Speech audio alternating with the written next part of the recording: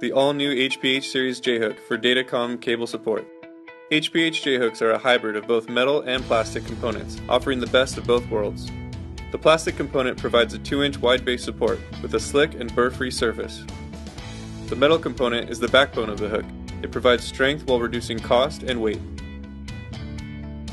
The combined J-hook is UL listed, ROHS compliant, TIA compliant, and is suitable for installation in plenum and air handling spaces. One of the most innovative features of the HPH J-hook is the built-in snap lock retainer. This is far superior to clumsy retainer wires, cable ties, or Velcro straps that require additional on-site installation.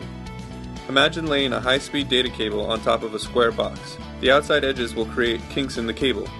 This is what happens when non-TIA compliant J-hooks are used. Now, imagine laying that same cable on a cylinder. There are no pressure points and no kinks. The design of the all-new HPH J-hook provides an average bend radius of 3.57 inches. This is the largest radius of any J-hook on the market. HPH J-hooks are sold pre-assembled to UL listed and ROHS compliant attachments, which allow for easy installation to a variety of structures and surfaces.